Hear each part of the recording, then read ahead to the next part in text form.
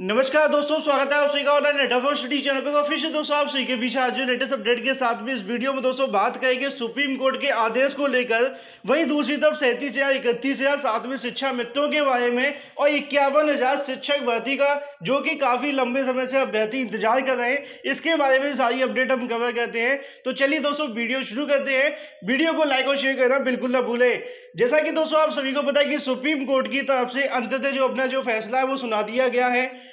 लगभग तीन महीने से ज़्यादा का समय लिया और उसके बाद में आपको फैसला देखने के लिए मिला। बीच में बहुत सारे अभ्यर्थियों के मन में सवाल थे कि कहीं ना कहीं समय ज़्यादा लिया जा रहा है और समय ज़्यादा लेने का मतलब ये हो सकता है कि शायद यहाँ पे साठ बैसठ ना आए, इसके अलावा कुछ और देखने के लिए मिलेगा। लेकिन कहीं ना कहीं हर एक उस मोड पे ऑनलाइन अड्डा फॉर श्री चैनल के माध्यम से आप सभी को बताया गया और आपको समझाने का जो प्रयास है वो किया गया कि आपका ऑर्डर डिले क्यों हो रहा है? चाहे मोहन सर का ना आना हो या फिर अगर जैसा कि आप सभी को बताया कि आपके मुद्दे की सुनवाई नहीं हो पा रही थी, आपका मामला लिस्टेड नहीं हो पा रहा था, और भी तमाम जगहों पर आप सभी के सामने जानकारी दी गई। तो उत्तर प्रदेश के अंदर चाहे कोई नई शिक्षक भर्ती हो, पुरानी हो, या फिर कोई भी अपडेट हो, अगर सबसे सटीक कोई जानकारी दी जाती है तो वो सिर्फ़ और सिर्फ़ ऑनलाइन अड्डा फॉर श्री चैनल के माध्यम से ही दी जाती है। ऐसे में आप लोग यहाँ पर देख भी सकते हैं। अब अगर हम बात करें आपके आदेश को लेकर तो सुप्रीम कोर्ट की तरफ़ से अपना जो आदेश है वो दे दिया गया है इकतीस हज़ार के बारे में, सैंतीस हज़ार के बारे में। मतलब ये है कि कट ऑफ़ साठ बैसठ में उनहत्तर हज़ार शिक्षक भर्ती को संपन्न करवाया जाए। जिन अभ्यर्थी को नियुक्ति मिल चुकी है, उनसे कोई छेड़छाड़ अब नहीं होगी। लेकिन ऐसे में जो बाकी अभ्यर्थी रह गए, लगभग सैंतीस हज़ार के आसपास, उनको यहाँ पे जो नियुक्ति है, वो दे दी जाएगी। तमाम अभ्यर्थियों के मन में सवाल हुआ करते थे, जब आपकी सीटें रिज़र्व की गई थी, मैंने ये भी कहा था कि सीटें रिज़र्व इसलिए की गई है कि जब तक फाइनल फैसला नहीं आ जाता है, जैसे ही फैसला आएगा सैंतीस हज़ार के बारे में सीटों पर आपको देखने के लिए मिल भी जाएगा। तो सडनली यहाँ पे जजेस की तरफ़ से कह दिया गया है मतलब तीन महीने के बाद कहा है वैसे तो कि अंततः जो सरकार की तरफ़ से मानक तय किए गए थे, उन मानक पर शिक्षा मित्रों को इलेक्शन नहीं दिया जा सकता है। लेकिन एक और नई भर्ती में उनको यहाँ से मौका मिल जाएगा। मतलब स्पष्ट ये है कि अब इकतीस हज़ार को यहाँ से कोई भी समस्या नहीं है। लेकिन इसके अलावा जैसे कि आप सभी को है कि एक आंसर की का मुद्दा लगा हुआ है। अभी इस मुद्दे को लेकर सुनवाई होना बाकी है जिसमें मैं आप सभी को बताऊँगा, जो भी जानकारी निकलेगी। लेकिन कहीं ना कहीं जो मेन पॉइंट यहाँ पे फंसा पड़ा था आपके ऑर्डर को लेकर, वो था कट ऑफ़ मुद्दे का। अब अगर बात करें आदेश को लेकर कि ऑर्डर किस प्रकार आप सभी को देखने के लिए मिला है तो जैसा कि मैं आप सभी को हमेशा बताता था ऑर्डर के अंदर कि डबल बेंच का जो आदेश होगा वो काफ़ी ज़्यादा महत्वपूर्ण रहेगा। क्यों रहेगा? आप सभी को है जजेस की तरफ़ से सवाल पूछे गए थे कि परीक्षा के बाद कट ऑफ़ क्यों लगाया गया? तो ऐसे में मैंने आप सभी को पहले बताया था जेपीएससी ऑर्डर एमसीडी ऑर्डर और भी रफीकुद्दीन वाले ऑर्डर तमाम ऑर्डर्स के माध्यम से सरकार की तरफ़ से B Ed B D C अधिवक्ताओं की तरफ़ से यहाँ पे बहस की गई और कहीं ना कहीं समझाने का प्रयास किया गया कि कट ऑफ़ बाद में क्यों लगा। अब ऐसे में जज साहब का एक सवाल ये भी था कि साठ पैंसठ कट ऑफ़ ज़्यादा रखा गया। तो ज़्यादा रखने का रीज़न क्या था? यह भी समझाने का प्रयास हुआ कि अड़सठ या पाँच सौ शिक्षक भर्ती के अंदर यहाँ पे संख्या काफ़ी ज़्यादा कम थी, लेकिन उनके पास में पहले से एक लाख छियालीस हज़ार अभ्यर्थी तो ऐसे में जिस कट ऑफ़ को ज़्यादा कहा जा रहा था, उस कट ऑफ़ पर लगभग डेढ़ लाख अभ्यर्थी पास हो जाते हैं। तो यहाँ पे सुप्रीम कोर्ट की तरफ़ से इस पॉइंट को काफ़ी सही तरीके से समझा गया और उसी के आधार पर आपको डिसीज़न देखने के लिए मिला।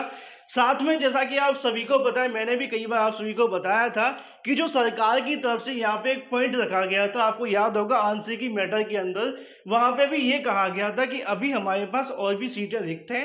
अगर कोई बदलाव होता है तो यहाँ पे हम डिसीज़न ले सकते हैं। सेम जानकारी सुप्रीम कोर्ट के अंदर भी दी गई। उनका कहना था कि आगामी समय के अंदर हमारे पास पदों की संख्या काफ़ी ज़्यादा खाली है। उन पदों पर आगामी समय में शिक्षा मित्रों को यहाँ पे एक और मौका दिया जा सकता है, जैसा कि सरकार की तरफ़ से मॉडिफिकेशन के अंदर लिखा गया था। उसी के आधार पर सुप्रीम कोर्ट ने सही मानते हुए कि साठ पैंसठ में जब एक लाख छियालीस हज़ार अभ्यर्थी पास हैं और 40-45 में लगभग अभ्यर्थियों की संख्या तीन लाख हो जाती है तो साठ पैंसठ को सही मानते हुए इकतीस हज़ार सात में सैंतीस हज़ार तीन सौ उनतालीस छात्रों की नियुक्ति पर मोहर लगा दी है। लेकिन ऐसे में जो बचे हुए शिक्षा मित्र हैं, जो कि चालीस पैंतालीस में उत्तीर्ण हुए थे, साठ पैंसठ में किसी कारणवश नहीं हो पाए तो उनको यहाँ पे एक और मौका देने का जो आदेश है, वो दे दिया गया है, जो कि सरकार की तरफ़ से स्वयं कहा भी गया था कि आगामी समय के अंदर जो भी प्राइमरी के अंदर पद रिक्त है, उस पर एक नई भर्ती देखने के लिए मिलेगी। लेकिन जैसा कि आप सभी को पता है सरकार ने मॉडिफिकेशन के अंदर रिक्त पदों की संख्या के बारे में भी जानकारी दी थी कि उत्तर प्रदेश के अंदर लगभग इक्यावन हज़ार एक सौ बारह जो पद है वो खाली पड़े हुए हैं। तो ऐसे में आगामी समय के अंदर जो इक्यावन हज़ार पद होंगे उस पर शिक्षा मित्रों को मौका देते हुए आगामी समय में इनको भर्ती कर ली जाएगी। और इस पर मैंने आपको पहले भी कहा था, ये काफ़ी ज़्यादा महत्वपूर्ण पॉइंट भी रहा। और अब ऐसे में जो नई शिक्षक भर्ती आएगी, वो लगभग इक्यावन हज़ार पदों पर हो सकती है। पदों की संख्या ऊपर होने की बजाय कम देखने के लिए मिल जाती है कई बार, क्योंकि अड़सठ हज़ार पाँच सौ वाले अभ्यर्थी केस करते रहते हैं, उनको यह मौका मिल जाता है। तो इक्यावन हज़ार आप लोग मान के चलिए कि नई शिक्षक भर्ती आएगी, जो अभ्यर्थी रह गए, छूट गए, उनको यहाँ पे इक्यावन हज़ार के अंदर मौका मिल जाएगा। अब जैसे ही ऑर्डर आता है सुप्रीम कोर्ट की तरफ़ से, ये भी पता चल जाएगा कि क्या सरकार की कोई टाइमलाइन दी गई है। मतलब जैसा कि सुप्रीम कोर्ट कई बार टाइमलाइन देते हैं कि भाई आपको एक साल के अंदर भर्ती करनी है तो इसके बारे में ऑर्डर के अंदर जानकारी निकलेगी, क्योंकि अभी से ऑपरेटिव पार्ट पढ़ करके सुनाया गया है। लेकिन जानकारी स्पष्ट तरीके से आप सभी के सामने है कि शिक्षा मित्रों को एक और मौका इक्यावन में दिया जाएगा। अब ऐसे में जो सैंतीस हज़ार या इकतीस हज़ार शिक्षकों को काफ़ी लंबा इंतज़ार था, वो अंततः समाप्त हो गया है और सुप्रीम कोर्ट ने कई मुद्दों को ध्यान में रखते हुए डबल बेंच के आदेश को सही माना है और ये बात मैंने आपको पहले भी कही थी और कई ऐसे पॉइंटों को लेकर समझाने का प्रयास किया गया था उस ऑर्डर के बारे में। ये भी मैंने आपको बताया था कि साठ पैंसठ अगर आपको देखने के लिए मिलेगा तो उसमें सबसे बड़ा अहम रोल होगा, वो सुप्रीम कोर्ट के आदेश का नहीं होगा, वो कहीं ना कहीं आपके डबल बेंच के आदेश का होगा, क्योंकि उस आदेश के अंदर पंकज कुमार जायसवाल सर की तरफ़ से कई ऐसे पॉइंट लिखे गए थे जो कि आप लोगों के लिए महत्वपूर्ण थे और उन्हीं पॉइंटों के आधार पर आपको साठ पैंसठ देखने के लिए मिला। और साथ में जैसा कि आप सभी ने यह भी देखा था कि सुप्रीम कोर्ट के ऑर्डर के अंदर एक और मामला देखने के लिए मिला करता था, जो कि था बीएड का मुद्दा। मैंने आप सभी को यह भी बता दिया था कि बीएड मुद्दे पे कुछ भी नहीं होगा। शिक्षा मित्रों के भारांग पे भी कुछ नहीं होने वाला है। हालाँकि भारांग को क्यों रखा गया था, वो इसलिए समझाने का प्रयास किया गया था कि अगर कोई भी शिक्षा मित्र नब्बे सतानवे लेकर के आ जाते हैं और ऐसे में उनको भारांग मिल जाता है तो बी एड अभ्यर्थी यहाँ से बाहर हो जाएगा, क्योंकि आप सभी के सामने जानकारी मैंने बताई थी। लेकिन शिक्षा मित्र चालीस पैंतालीस में ज़्यादा पास हुए साठ पैंसठ में पास होने वालों की संख्या कम है। तो ऐसे में उसी के आधार पर आपको जो चीज़ें वो देखने के लिए मिली और अंततः आपके सामने जो फैसला है वो आ गया।